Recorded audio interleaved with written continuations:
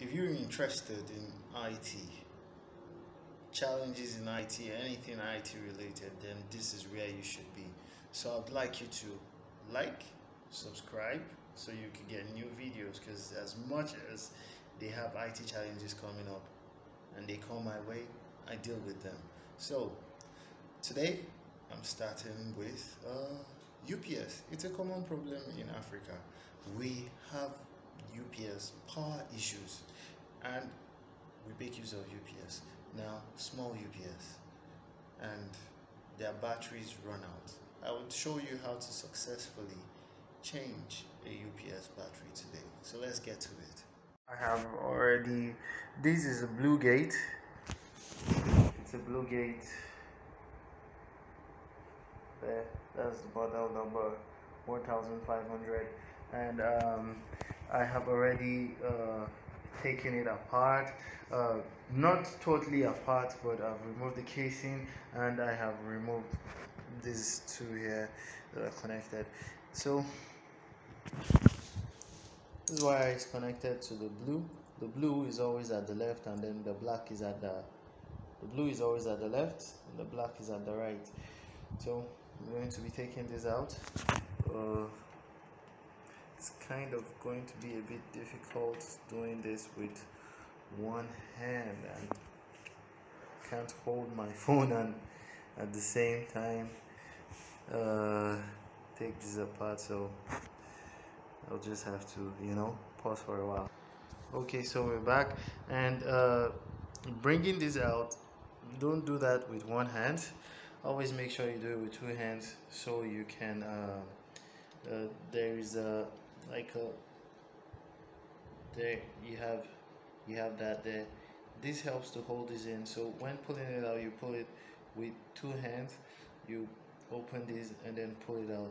When pulling this out also when pulling these out also from here you have to do that with two hands. This is the connectors for the buttons in front for the buttons in front and then the light now after you've done all of this when you pull this out uh, be careful to make sure that you it's not connected to the wall or is not connected to any form of electricity.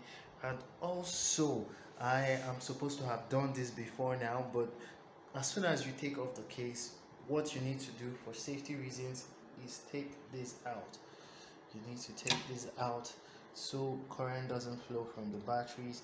When you do that you also do that here pull that out. So we have this outside here and what we're going to be doing is if you could look at that you have to raise this up and then pull that out. And you do the same here. Raise you raise it up and pull that out. I'll get back. So once we've done that we have the whole of this here where you have the fuse and all of that uh, you make sure your transformer is still intact everything is properly coiled. Uh, in this video uh, I'm going to just uh, concentrate on changing the batteries and nothing more. Uh, there are other things that could cause your UPS to be failing which we'll treat on other videos but on this video we're just going to concentrate on changing the batteries. Um, uh, let me know in the comments below uh, challenges you are having with your UPS and uh, I'll look at what I have here. I'll look at what I have in my in my workshop and see how we could do that together. Uh, whatever the challenge would be always know there is a solution okay? All right so now uh, I had to flip the UPS uh, to fall by the side. You have to take out the screws so you can get out the batteries. Okay so that is out. And we have these batteries here. As you can see it's a blue gate batteries. Uh, usually these are supposed to last about um, they're supposed to last about uh, 15 minutes.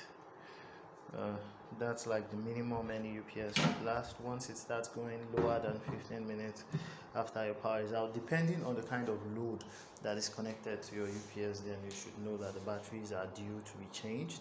Uh, just like I said depending on the kind of load that you have. Uh, I would change these batteries and put them with something even better.